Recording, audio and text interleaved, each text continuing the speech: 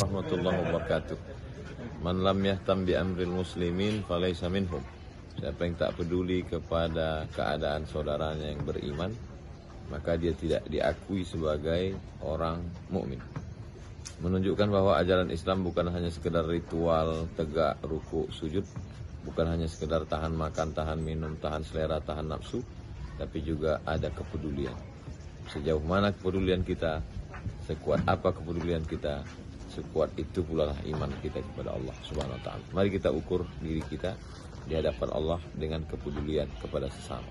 Berkah selalu. Terima kasih. Assalamualaikum warahmatullahi wabarakatuh.